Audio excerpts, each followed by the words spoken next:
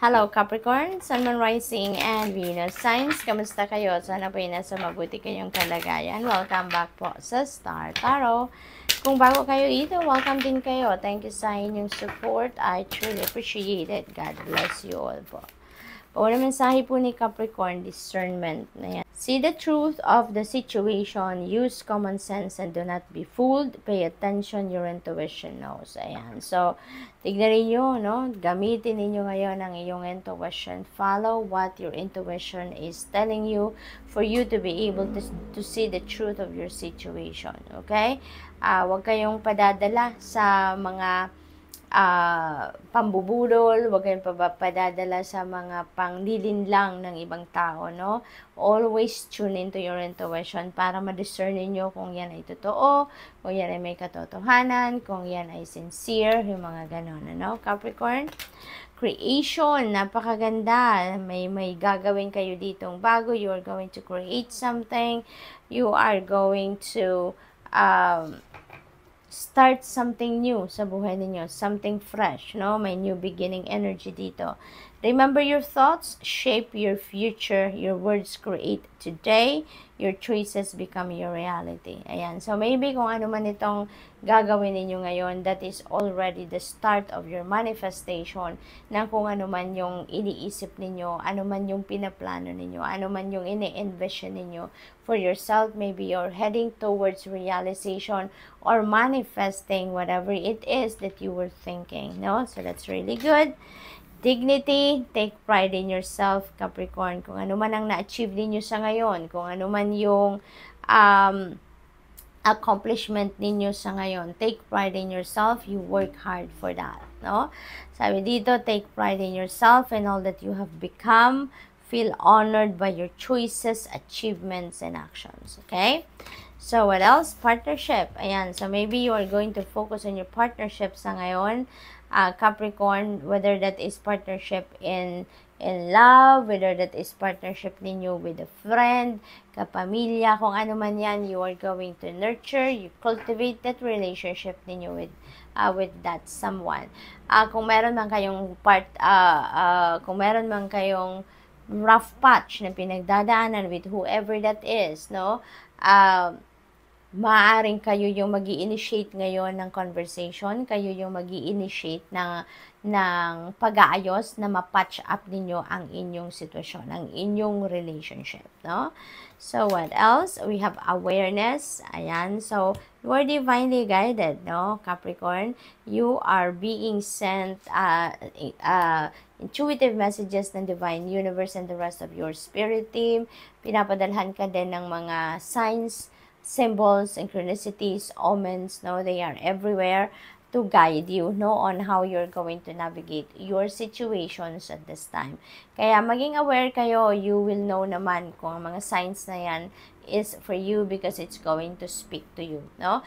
Makikita ninyo yan, mararamdaman ninyo. Let's say, for example, uh, merong butterfly, no? Butterfly is one of those animals na ginagamit ng spirit realm to send you guidance, no? That is being used to to send you uh, sign, know. So, let's say for example, meron kayong nakitang butterfly and that butterfly lumilipad-lipad sa paligid ninyo, nasa loob man kayo ng bahay or nasa labas kayo ng bahay, maaaring sinusundan kayo ng butterfly na yan, mararamdaman ninyo yan, mapapansin ninyo yan na that is a sign for you, no? Kaya wag kayong mag-alala, no? Wag kayong mag-alala ano kaya to, ganito, yung mga ganon that is a sign for you. May meron kayong maiisip, meron kayong mararamdaman ng kakaiba because it will speak to you. And uh, just take note of what uh, color ng butterfly yan. Tignan ninyo, i-google po ninyo yan. Look for the symbolism of that butterfly. Let's say, for example, white butterfly, no? So, i-google ninyo, tignan ninyo, ano ang symbolism? What is the spiritual meaning of that white butterfly? And yan ang meaning niyan para sa iyo. Yan ang ang mensahe ng universe para sa inyo. Okay?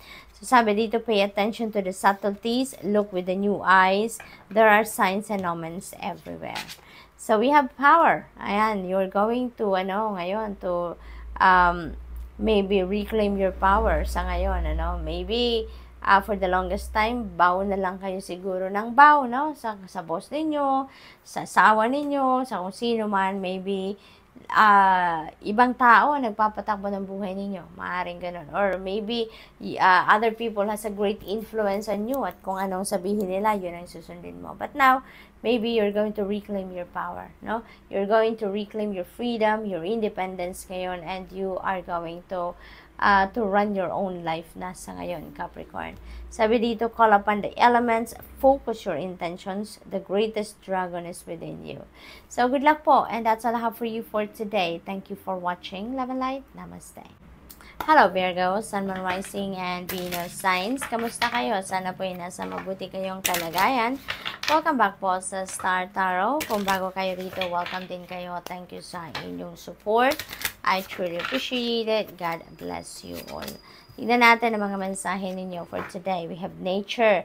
So Virgo, maaring ang iba sa inyo dito is um, invited dito to spend time outside, spend time with nature. Okay? Kasi siguro, ang karamihan sa inyo dito, Virgo, hindi naman lang kayo nakakatampisaw sa dagat, no? Or hindi man lang kayo nakakapag-park. Or madalas siguro, hindi naman kayo nakakalabas ng bahay.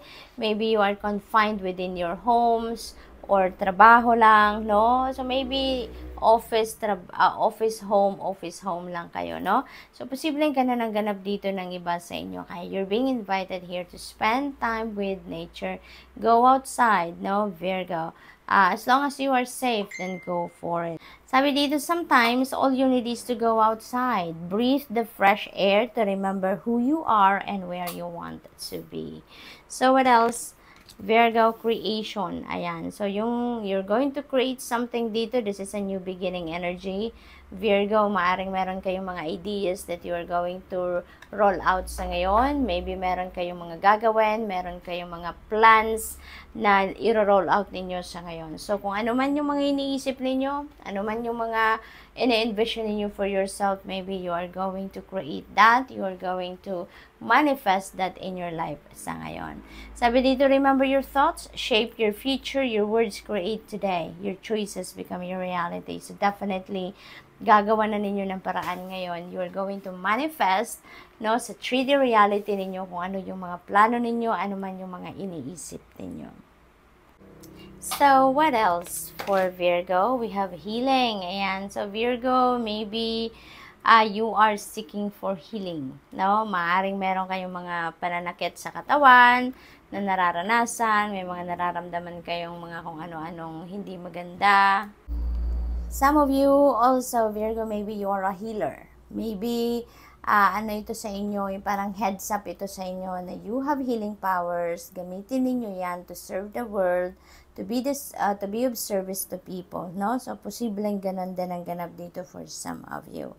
Sabi dito, bless all in need of healing, hope, and love, Spirit, grant us strength and wisdom. Guide us to the path of wellness. Feeling ko dito ang iba sa inyo, Virgo, maybe you are being called to be a, you know, to be a mentor. Uh, you're being called to be a uh, spiritual guide, no? Spiritual counselor, yung mga ganon. So, what else for Virgo? We have pilgrimage. Ayan. So, ang iba siguro sa inyo, papunta talaga sa spiritual journey, you know? Maybe ang hinahanap ninyo ngayon is anong mission ninyo sa buhay, ano yung purpose ng inyong existence, ano yung path na dapat ninyong tahakin sa ngayon. So, posibleng nandoon kayo sa stage na yon. Merong spiritual awakening siguro ang iba sa inyo dito, Virgo. And uh, sabi dito, you are on a journey to your own greatness. Ayan. So, your soul is longing to find a way. Only you can choose your path. Ayan. So, napakahalaga napapakinggan po ninyo dito ang inyong intuition because your intuition will guide you, will send you a signal to where you need to be, to where you need to go, no? Uh, kaya ang iba sa inyo talaga dito, it, fe- it feels like to me na nasa spiritual uh, awakening stage kayo at naghahanap kayo ng purpose ninyo, naghahanap kayo ng at tamang daan na tatahakin ninyo that will be in alignment with your purpose and with your destiny. So what else? We have gratitude. This is also a reminder for you na always practice gratitude attitude. Be appreciative of everything that you receive, everything that you have in your life. Yung kung anong meron na kayo sa ngayon, lagi ninyong ipagpapasalamat yan. And also kung meron man kayong hinihingi, meron man kayong gustong makuha, ma-receive from the divine universe. Ngayon pa lang, habang nagdadasal kayo, na ganyan ang gusto ninyo, ipagpasalamat na ninyong pagkakataon na yan na, na humihingi kayo. Be grateful for abundance, live in appreciation for what you have, and more good things will come. Ayan na nga. Kasi, yung gratitude, uh, Virgo, kung nagpapasalamat kayo lagi, kung na-appreciate ninyo lahat-lahat ng nare-receive ninyo, or kung ano man ang nakukuha ninyo from the from the universe, you know, uh, yung nagpapasalamat kayo, parang susi yan, no? Nag, nagbubukas kayo ng pinto uh, para sa mas maraming blessings, sa mas maraming um, uh, abundance and prosperity to come into your life. Kaya laging magpapasalamat. Okay? So, reconciliation, ang iba sa yung healing na siguro na yan, ano, is also healing ng inyong relationship.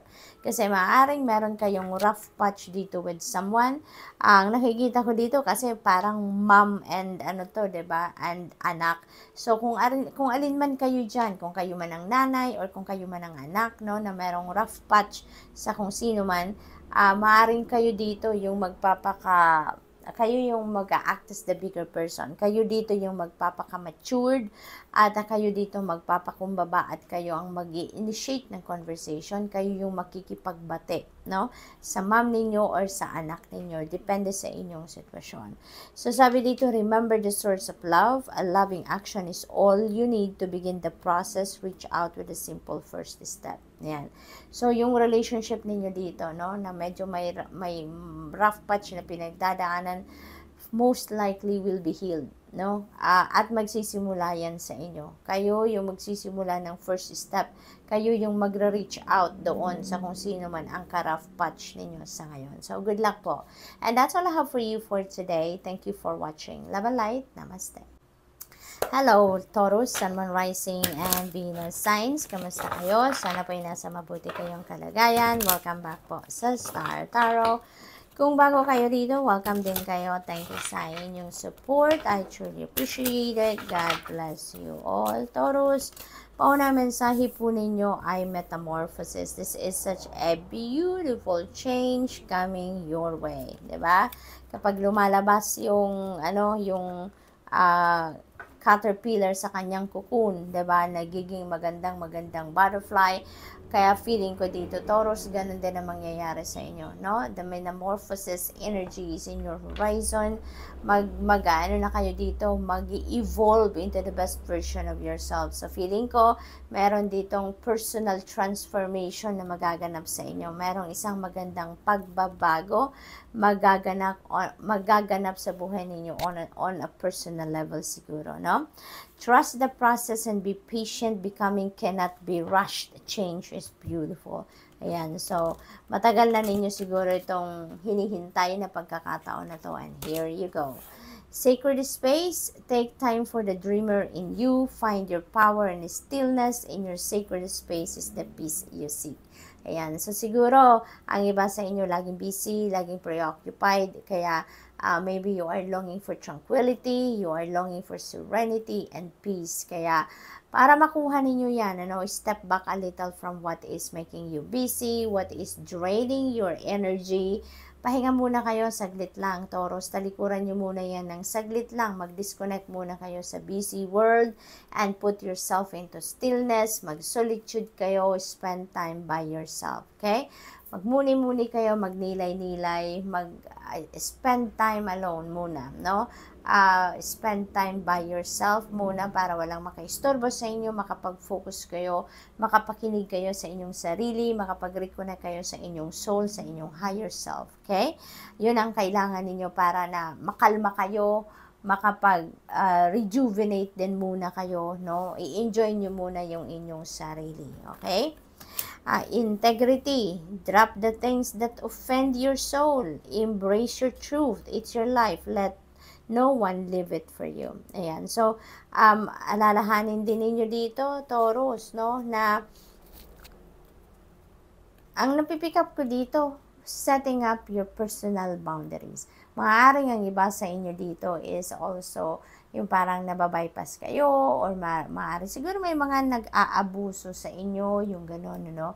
Dahil sa inyong kabaitan, dahil sa inyong compassion, uh, compassion, maybe you're very helpful, you're very loving, you're very um, uh, supportive and helpful of, of everyone around you. Kaya parang, nauabuso na kayo, no? Parang lumalagpas na sila doon sa boundary, kumbaga. Kaya, parang kailangan na ninyo dito na mag-set ng personal boundaries so you would be able to, uh, ano, to maintain your integrity, ma-maintain ninyo yung limitasyon ninyo kung hanggang saan lang din ang kaya ninyong or dapat ninyong itanggapin from other people, yung mga ganun ba, no? So, what else? We have a union. Ayan. So, this is partnership, no? Ah, Taurus, maaring meron kayong partnership uh, dito na mabubuo. No, bagong partnership with, with another person. Maybe this is love and romantic relationship. Maaring this is uniting with a friend, uniting with kapamilya, or kung ano pa man, or kung sino pa man, ano.